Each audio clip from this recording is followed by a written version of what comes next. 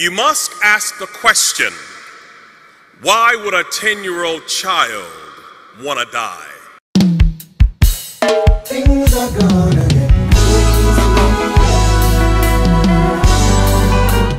Welcome to Keys to Success. This is where you get your daily pills of motivation, encouragement, and strength. Now, here's your host, Mr. Success. Hey, this is Mr. Success for you, and I just want to talk to you about two things. I just want to talk to you about winning and champions. Now, let me explain something to you. A winner, in most cases, a winner trained for an event or some task or whatever the skill or whatever is in front of them. A winner would train for that. So, like a winner would basically, there's this something coming up, so a winner would study or do something for this one event. But a champion trains for life. What am I talking about? You see, the difference is you don't have to wait until you get something to be prepared. Les Brown said it right. It's better to be prepared for something you don't have than to be than to have something and not be prepared for it. So train as a champion of your life and not a winner. Don't do moments. Do lifetime. So what you're going to do, the changes in your life must literally, literally be seen across your attitude. Now let me give you this. It's not always going to be easy. It's not always going to be right. It's not always going to be a walk for, for, for you. It's not always going to be a simple thing. But I tell you what, life is not meant to be simple because if it was easy, everybody would have been doing it.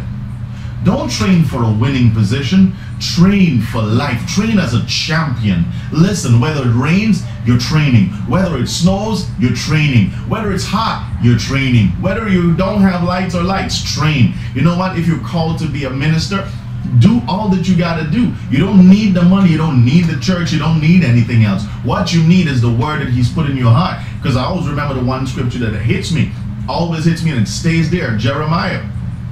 He was a young man when God called him. And what did he say? I can't do this, God. And God says, listen, don't ever say that. When I call you, I will also put the words in your mouth. And you got to be able to be bold enough to say, "That's what this is what the Lord is saying to you. So you got to also understand that when you're going to train for something, never stop studying. Eric Thomas, I'm telling you, really inspired me. Will Smith really inspired me. John C. Maxwell, Les Brown, Zig Ziglar, Jim Rohn. These are some of the guys that really inspired me. Now let me put some of this in there. Jerome Moe inspired me.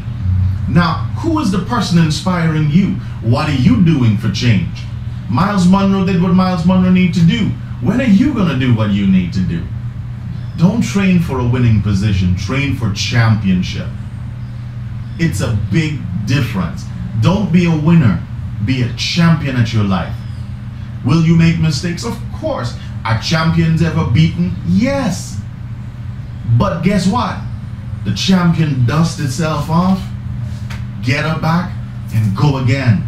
The difference is the champion has a different mindset compared to a winner. You see, a winner is going to go win an event, and after that event, never train again until something else comes up.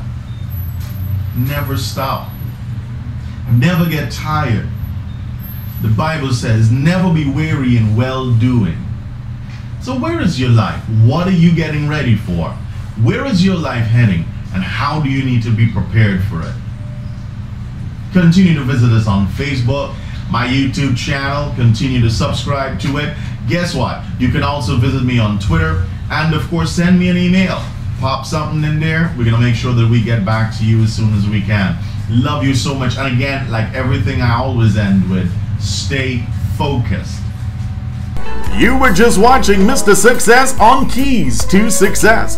For more information, give us a call on 592 675 6656 or the office 227 3527. Or you can be free to send us an email at Mr. Success Staying Focused at gmail.com or visit us on Twitter